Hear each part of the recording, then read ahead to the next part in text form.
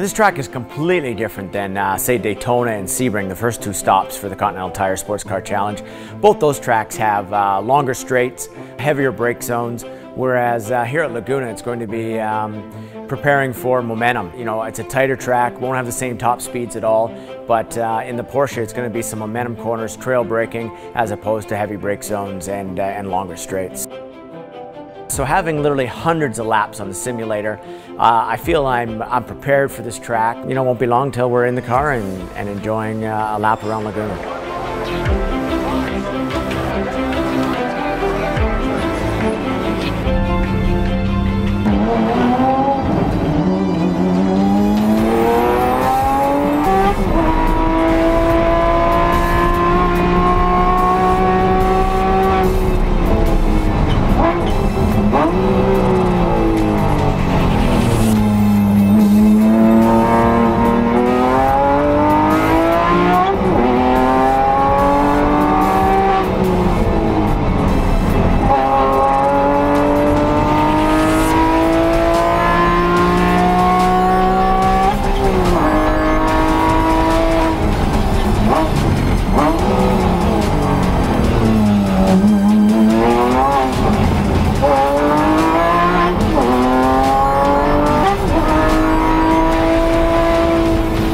Balance of performance uh, really not being in our favor, the Porsche really is uh, an underdog here at this track.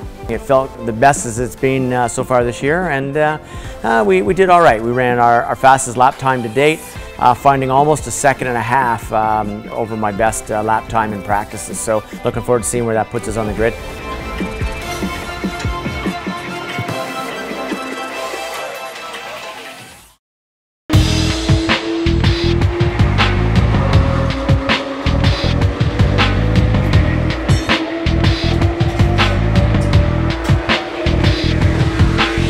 Not only the thrill of just being here at Laguna, but also I have a Turn 14 distribution and K&N cold air intakes here cheering us on and uh, just being part of the race team for the weekend. So I'm really happy to have them here and uh, looking forward to showing them a good finish.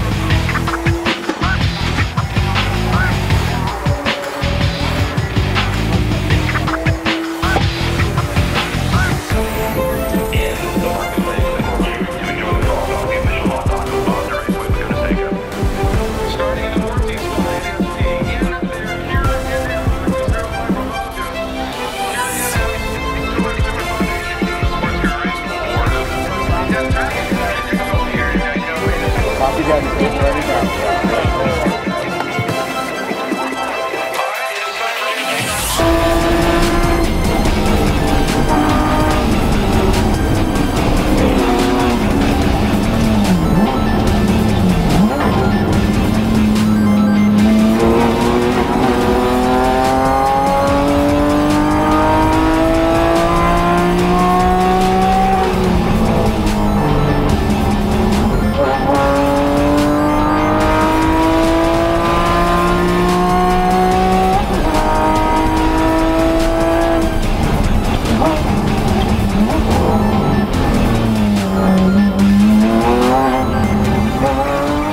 There must have been a couple cars tangled up coming out of turn eight, I guess. There was some debris on the road, and I must have caught a little bit of that debris because uh, uh, within a few corners after that, I had a flat tire and uh, had to limp the car back into pit road. Well, I radioed into uh, Ron, our engineer.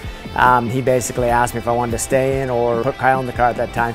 It just made sense. Being forced to pit under green, I had no choice. We put Kyle in the car uh, while we changed the four tires.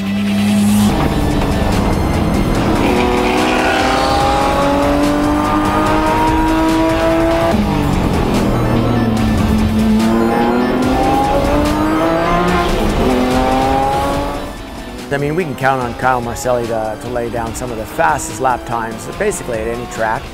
Long story short, uh, Kyle got in the car, and unfortunately, it wasn't five laps later, uh, the transmission decided to let go. Uh, Kyle told me later that he had basically lost third and fourth gear. We had no choice but to uh, call the race at that point in time.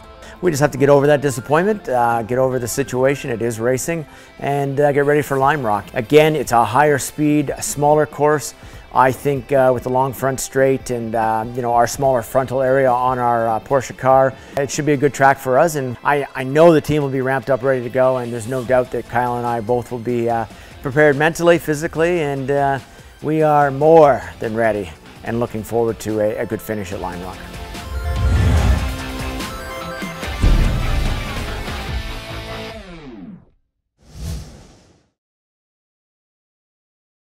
Quick shout out to my friends over at GoPuck. Uh, they've stepped up uh, for the balance of the season. They'll be uh, supporting the Rebel Rock MBRP 08 Porsche.